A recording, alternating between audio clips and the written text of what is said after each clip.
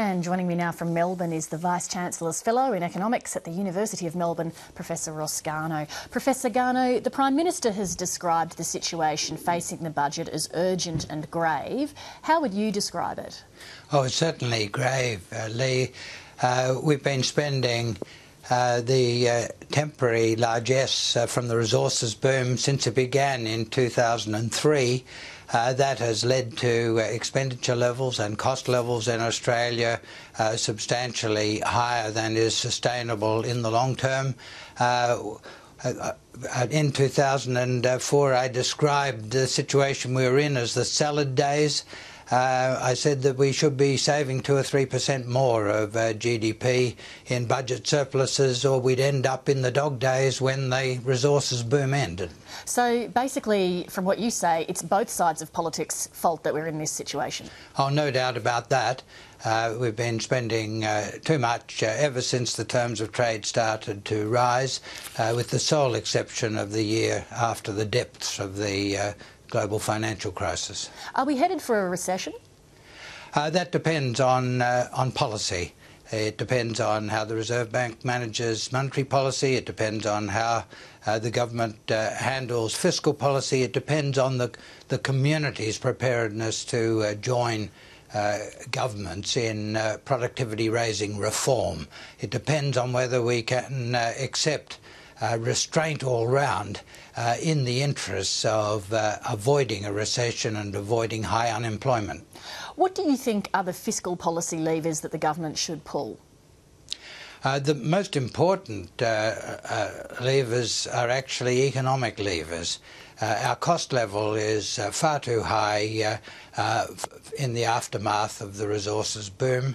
our exports of everything other than uh, resources uh, uh, have actually been falling in real terms uh, for, for, a number of years uh, after a, very good period of growth Uh, uh, before the resources boom. Uh, we're not getting uh, any investment worth speaking of in the, the export industries other than resources. Now that resources is coming off the boil, we've got to get those other engines going again. Amongst other things, that's going to require a big improvement in competitiveness. We keep hearing about the pressure that the high Australian dollar is putting on the economy. Is there anything that can be done about that?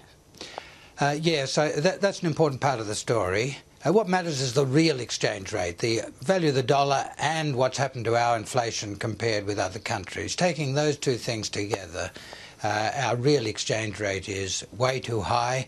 Uh, the resources boom did that, or rather, spending the income from the resources boom uh, over the past decade uh, did that, and then it's been taken to new heights by the exceptional monetary policy in other developed countries as they've sought to drag themselves out of recession themselves. They've done that by having interest rates at extremely low levels. Does Australia need to follow suit, in your view?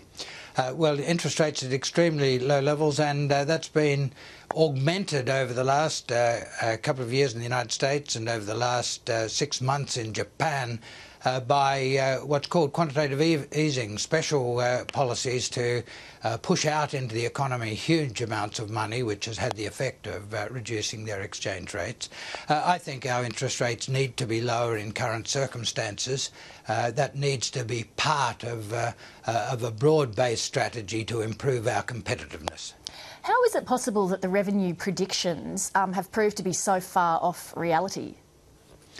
Uh, I'm not on the inside of the uh, revenue predictions, uh, uh Lee, but uh, clearly uh, the extent of the, the, the downturn in the uh, resources revenue uh, wasn't anticipated, and probably the slowing in the rest of the economy as a result of the resources boom wasn't fully anticipated.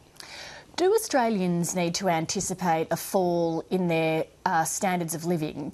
And if so, practically, what does that actually mean?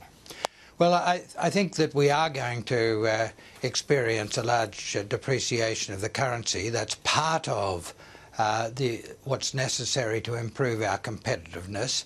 Uh, but uh, you don't get an improvement of competitiveness in competitiveness if the dollar falls and uh, incomes rise to allow us to uh, spend in the same ways as before. So we, we need to all accept uh, that uh, a lower dollar shouldn't be fully compensated in uh, nominal expenditure in the budget or the nominal incomes uh, that uh, we receive. That sort of restraint is very difficult and it's only ever possible if the community as a whole accepts restraint all round, in including recognition that uh, disadvantaged parts of the community uh, uh, need to be considered in that adjustment. So, for example, if you have a baby, perhaps you can't expect the government to give you a payment for that. Uh, I, I, don't want to get into individual uh, uh, payments, but across the whole level of government expenditure, there needs to be a, a reduction in real terms across the whole level of incomes after tax. there needs to be a reduction. Professor Garnaut, thank you very much for making time for us tonight. Thanks, Lee.